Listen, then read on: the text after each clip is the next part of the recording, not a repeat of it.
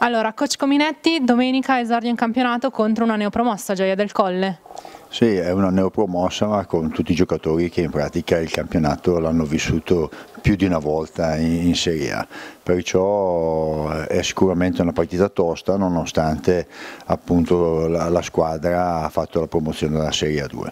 E incontreremo giocatori che, come Cetrullo, come Marchiani, giocatori che hanno giocato proprio assieme proprio nella Reggio Emilia eh, due anni fa e di conseguenza hanno anche un, un buon affiatamento e questo non, non è poco per le squadre nuove.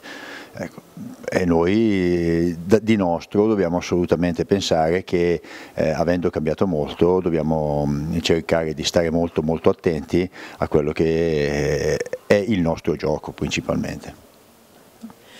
Quali sono i punti di forza degli avversari e quali invece saranno i punti, i punti deboli da sfruttare per i, per i nostri giocatori?